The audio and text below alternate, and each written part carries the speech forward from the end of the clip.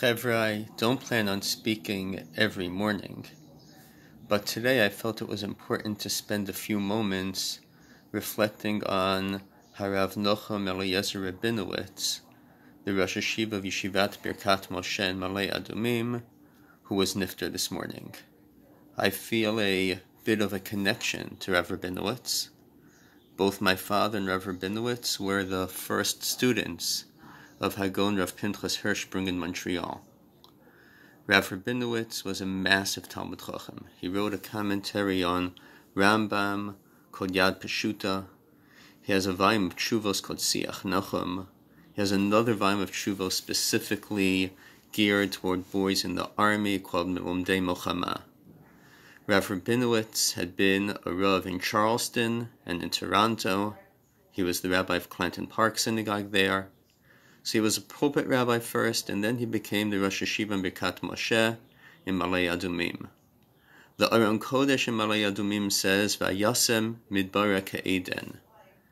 HaKadosh Baruch Hu took the Midbar, took the desert, and made it like Gan Eden.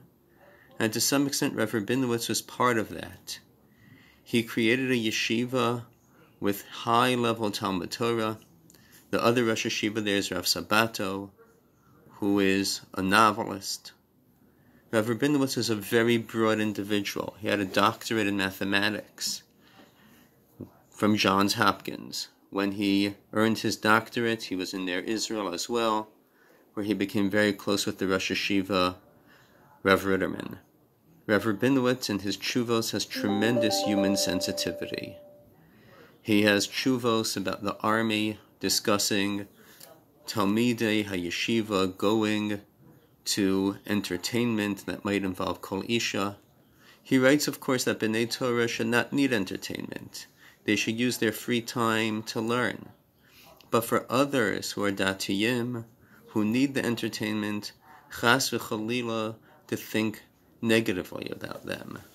His chuvos about electricity on Shabbos, although not accepted by many poskim, are written in the classical halachic style, and they are absolutely, absolutely beautiful chuvos.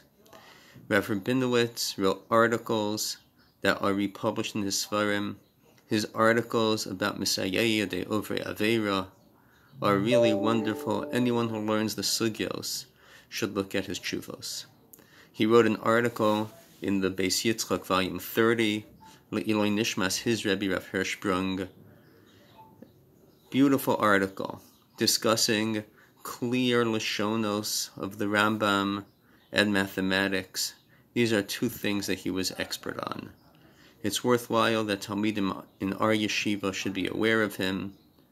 Yehi Zechro Baruch.